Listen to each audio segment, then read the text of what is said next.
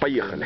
Продолжение. Часть номер два. Да. Ну и вот в настоящее время э, проблема вот этой борьбы с наркоманией, с алкоголизмом, ну, она для государства нашего, ну, как бы формально существует, это мое личное мнение. Ее, по-моему, вообще не существует. Да, ну формально существует.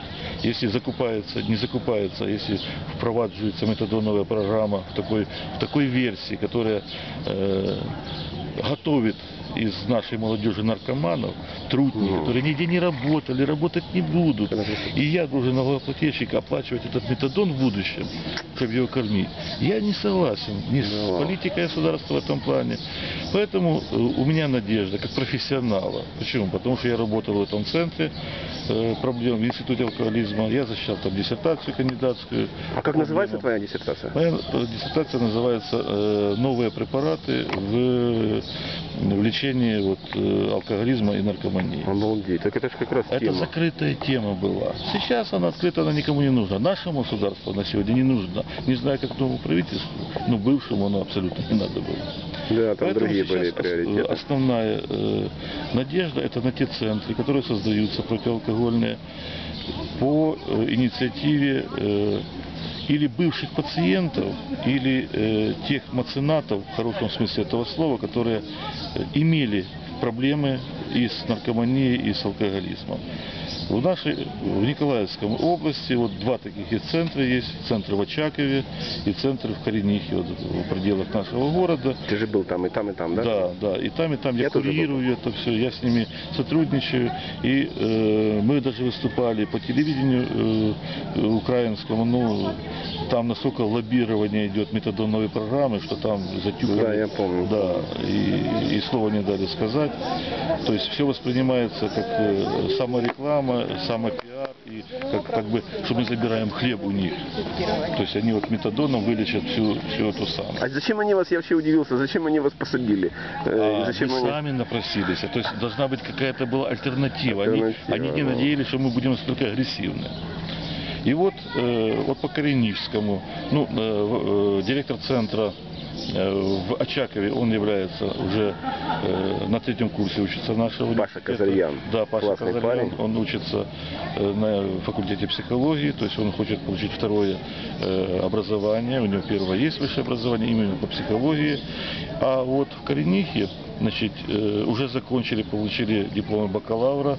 Два человека, которые прошли через этот центр. И его создатель, вот, Александр, э, который, э, он священнослужитель, несмотря на свой сан, так сказать, или это самое, он получил образование бакалавра э, психологии.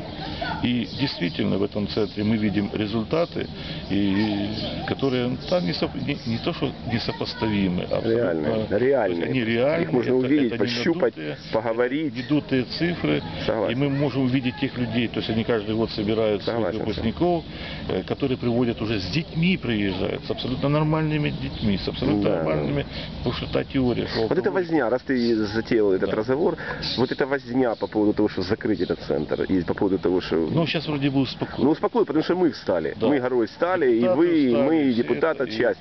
да. И дело в том, что это все-таки есть результат. И вот эти все э, крикуны, которые кричат, что нельзя, как в прошлые года. К программе «Крик» не имеет никакого отношения. Не-не, Кстати, абсолютно. Геннадий Александрович Задорка не имеет никакого Не, отношения. э, Абсолютно, вот, э, именно, как их еще э, э, раньше называли, э, глашатаи. да. Вот да. они, значит, Вообще не в теме пришла и начинает там человек, платочком который- пыль, да, пыль подниму. И в этом э, Я в шоке был, ты знаешь, я когда это Они, они увидел. существуют без копейки дотаций, Да на самоокупаемость, на это самое. Делает благородное дело, их еще... Гена, пожелание нашему движению, родители против наркотиков. Понимаешь, вот мое однозначное мнение, если у нас в Николаеве, в Украине будет эта мощная организация, э, вот то, что мы сделали. Ты знаешь, что в Николаеве единственный город в Украине, где не продают курительные смеси? Да, о, я, я рад. Ну, Я ты- не- а ты знаешь, что такое курительные смеси? Ты можешь и не знать.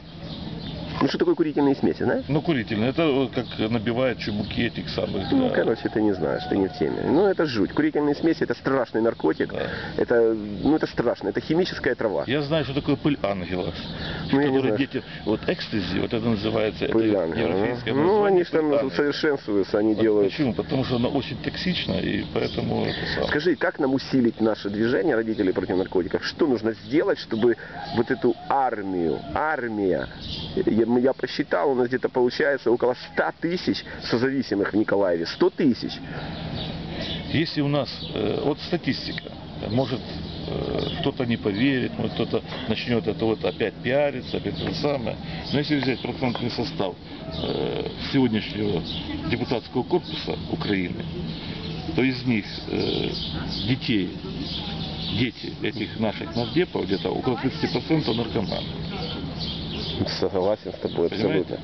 Если мы по аналогии, я не хочу, я живу в городе Николаеве, не хочу обращаться к нашим депутатам и тем самым, но чем зажиточнее семья, Конечно. тем меньше влияния Конечно, на конечно, тем меньше. посмотрите, на вот этих вот, особенно э, панки, шманки. Да, ну, согласен, тут даже не спорю. То есть ребенку нечем заняться. И пока родители Гена, тут даже спорить. Тут я... детьми, Гена, ну это мы говорим белое-белое, черное-черное. Ты мне скажи вот что. Ну мы на ты, Гена, что ты мне навинул? Я ж даже, по-моему, если мы не одного года, то я, по-моему, младше тебя. Подожди, дорогой, да подумай. Да подумай. Скажи, пожалуйста, что нам сделать родителям? Ну мы консолидируемся. Что еще нам э, сделать, чтобы это было Самое сильно? главное, наглядность. Вот Наглядность, Пример. Твой пример для меня Хорошо, является это самое. согласен. Ребенок, который хо- хочет попробовать, прежде чем, как, э, ну, как в Грузии есть обычай, да, первый стакан вина в Грузии, который не является алкоголем, то наливает отец сыну. Отец, я не знал этого обычая. Отец сыну, попробуй. Попробовал, а теперь...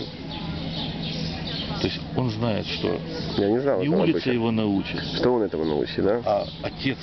Попробуй. В каком возрасте это они уже дают Вот в ему? школу идут, он, И он ему дает. школа начинает учить. У нас же родители не учат, у нас школа и улица.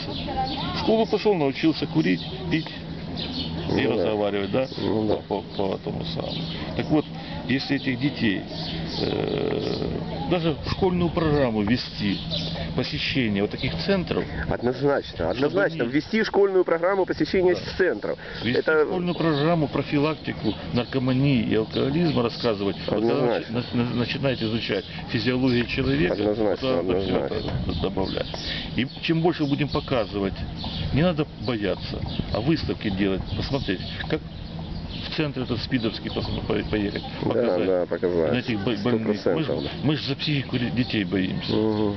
А когда они уже начинают колоться, мы уже за них ничего Мы не уже за них ничего, это уже не к нам, идите к родителям. Да, идите к Они родителям. говорят, идите к родителям. Поэтому вот чем больше мы будем показывать детям последствий, Пожелание нашему движению, традиционный у меня такой последний вопрос, пожелание Пожелание нашему какое? движению, родителям. привлекайте нас, э, медиков, профессионалов, психологов к своей работе. Спасибо.